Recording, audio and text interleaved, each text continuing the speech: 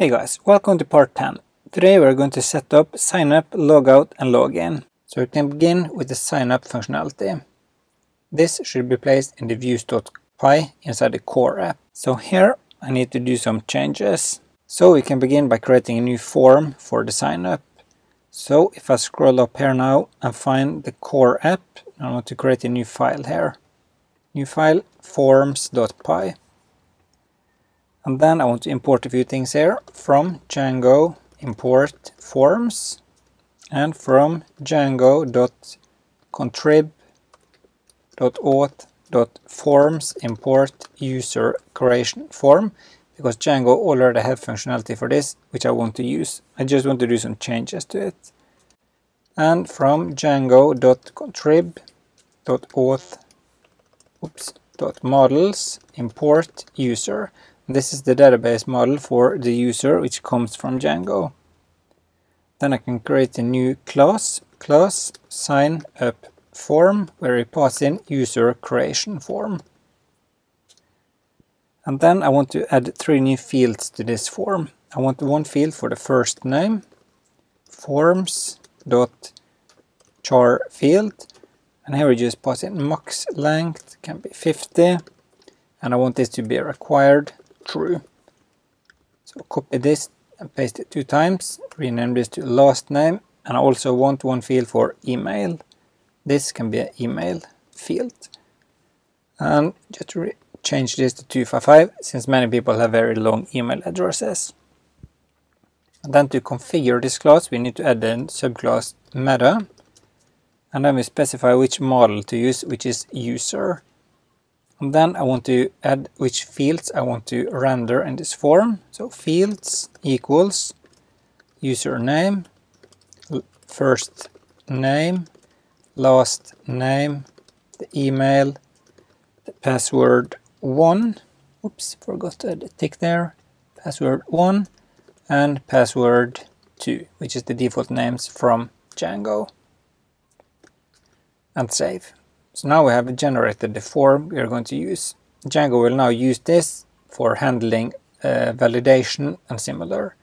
So if I now go to views.py in the core app, we can import this form from .forms import sign-up form. And I want to uh, import a redirect uh, shortcut from Django and also a decorator called login required, which we're going to use later and I want to import one function as well. So from django.contrib.auth import login. This will be used to log in the signed up user. So now we can do some changes here.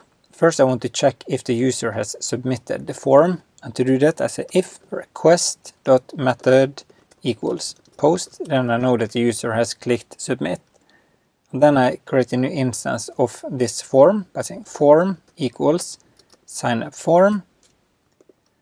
And to get the data from the form, we just say request.post. And then Django will handle the rest here. And to check that if this is valid, if the username doesn't exist and similar, we can say if form.isValid. This is a built-in method from Django. And if it is, we can say user equals form.save and then the user has been created. And to log him in, we can say login, which we imported at the top. Use the request, we're using the session and similar, and pass in the user we created here. And when that's done, we can just redirect the user back to the front page. So return, oops, return, redirect, slash, like that. But if it's not a post request, then we know that the user is there to sign up then we can say form equals sign up form and just have this to be an empty instance. And then to use the form in the front page or the template, we say form and form.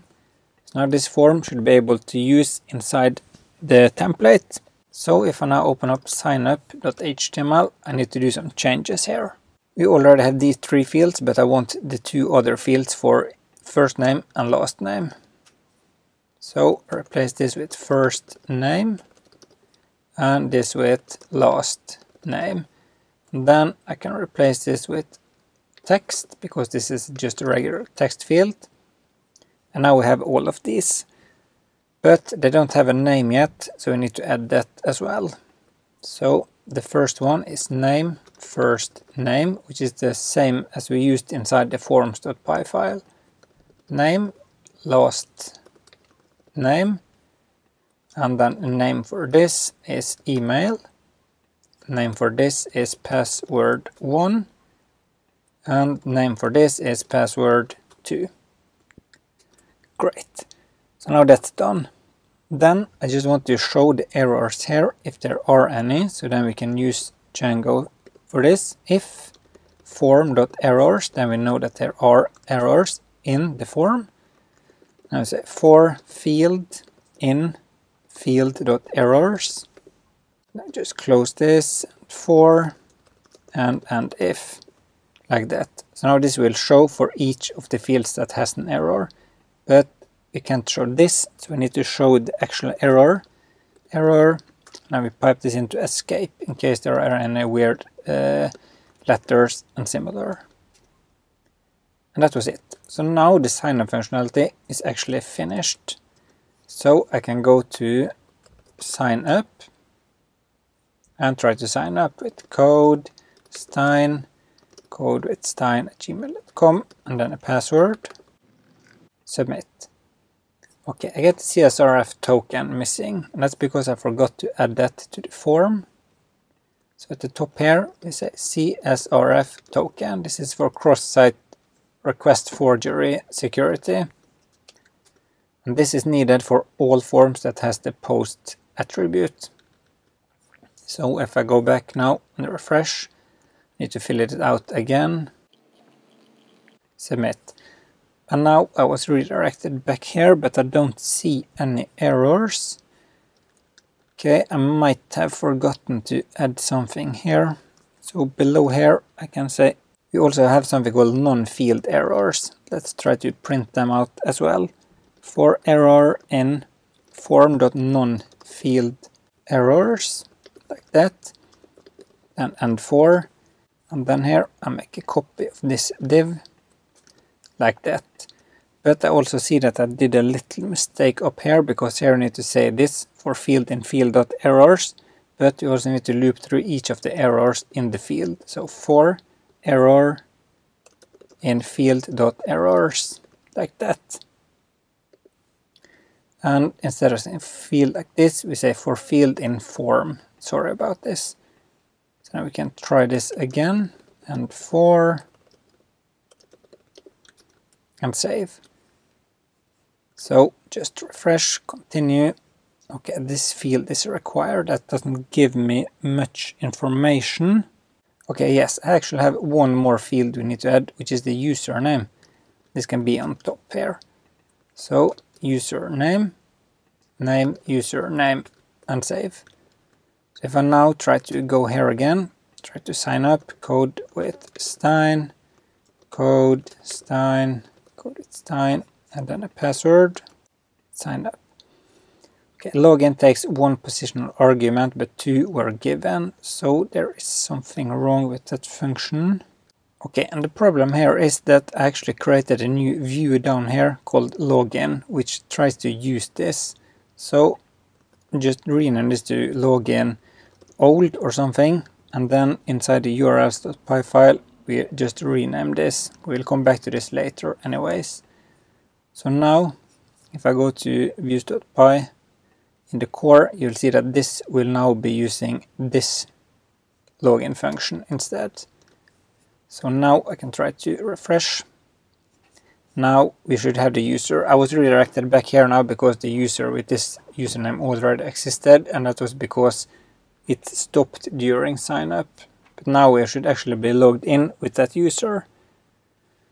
So then I can go back to the to-do list and set the first task to done. Before I continue, I just want to say thanks to all of my patrons. If you too want to support me, you will find a link in the description below. Next, I want to make it possible to log out. So if I now go to urls.py, we will using we will be using the built-in functionality from Django for this.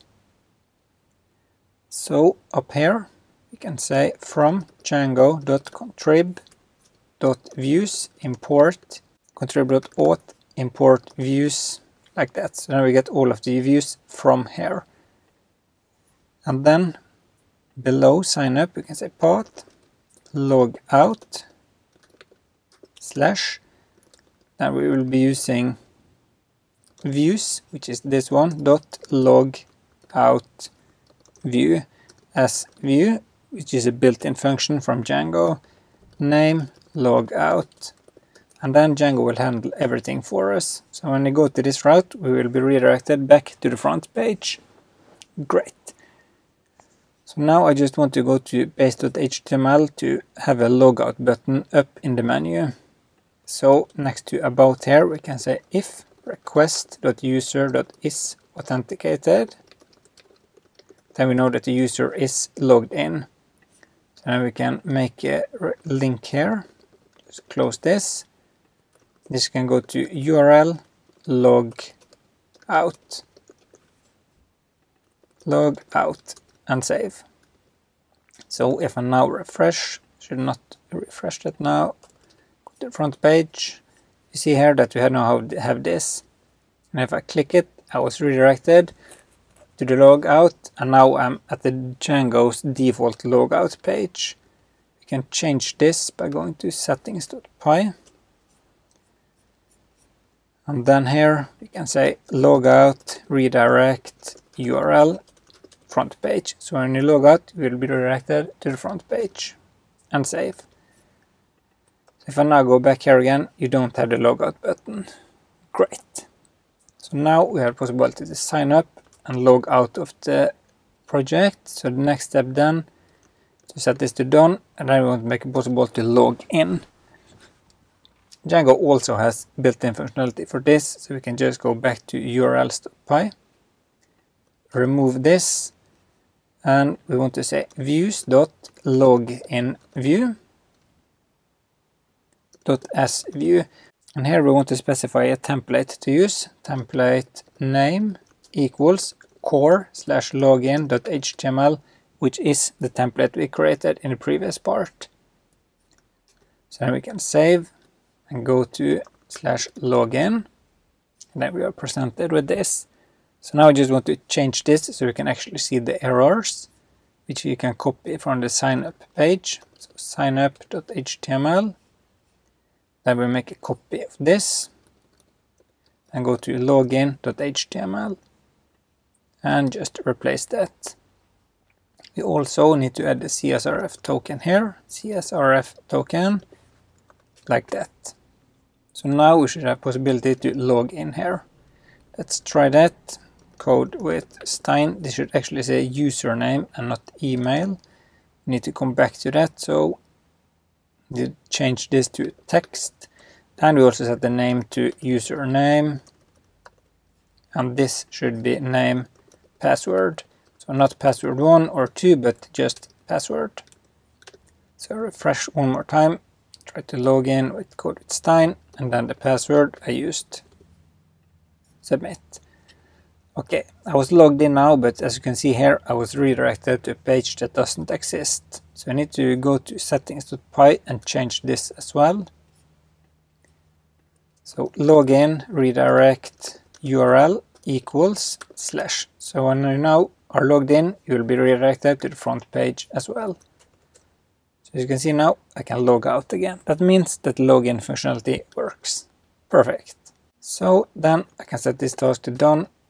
And that was it for this part. I hope you liked it. And if you did, please click like below and leave a comment if you have any questions. See you in the next video.